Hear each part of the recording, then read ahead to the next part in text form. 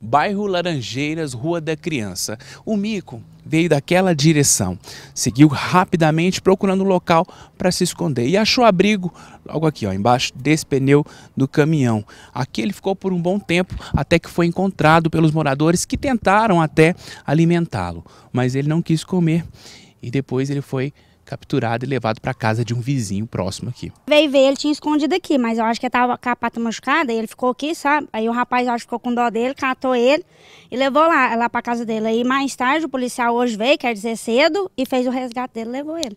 Os vizinhos se mobilizaram para salvar o animal que estava ferido e, segundo Soliana, aparentava estar muito cansado. Até então, eles é muito rápido, né?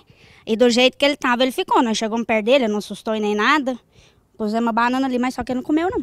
A Polícia Militar de Meio Ambiente resgatou o animal, que foi levado para o Hospital Veterinário da Universidade Federal de Uberlândia. Aparentemente, até pelos relatos de quem capturou ele inicialmente, estava né, com uma das patas quebradas né, um espaço quebrado, então ele foi encaminhado para o Hospital Veterinário da U, setor de animais silvestres, onde que inicialmente já vai ser tratada a fratura e fazer todos os exames que faz em todos os animais, né, não só nos micos, né, todos os animais que a gente captura é passado por uma bateria de exame no Hospital Veterinário e ele só é liberto da natureza se não tiver nenhum tipo de doença. Na cidade, resgates como este são comuns. É um fato comum, né, aqui, né? O pessoal está muito alarmado com a questão da febre amarela, mas é um fato comum esse tipo de mico aparecer nos centros urbanos. Por causa da febre amarela, muitas pessoas têm visto os macacos como vilões.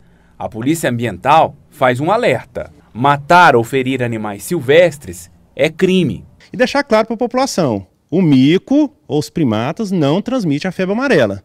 Né? Ele é apenas um termômetro, ou seja, no local que ele vive na natureza, quando o mico começa a morrer, os primatas começam a morrer, é um sinal que a doença está chegando. Mas não é o animal que transmite. Nesse caso, hoje é um fato isolado, não vou falar em isolado, porque é um fato comum para a gente aqui da Polícia Meio Ambiente, capturar pequenos primatas dentro dos centros urbanos. Então, deixar tranquila a população.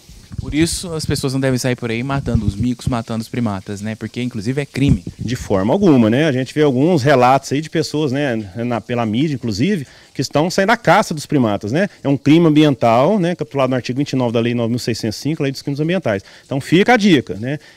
Para procurar esse tipo de animal para tentar matá-lo, além de causar um crime, não vai resolver o problema que a pessoa pensa né, que o animal transmite. Como já falado, ele não é o transmissor da febre amarela.